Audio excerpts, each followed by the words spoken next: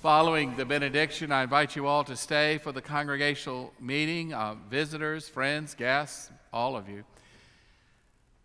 Remember the words that Jesus says, Follow me. And when we follow Jesus into the world, we go in his name to invite others to come and see. Come and see the riches of God's grace. The blessing of God, Father, Son, and Holy Spirit be and abide with all of you this day and forevermore.